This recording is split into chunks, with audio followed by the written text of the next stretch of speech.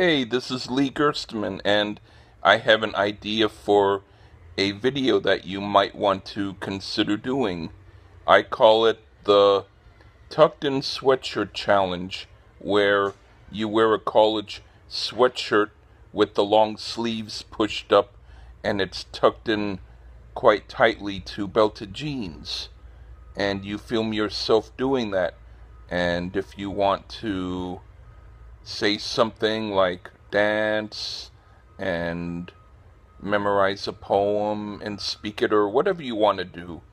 Make a 30 second video of you wearing a sweatshirt tucked into your belted jeans with your sleeves pushed up and then tag me so that I can see the video.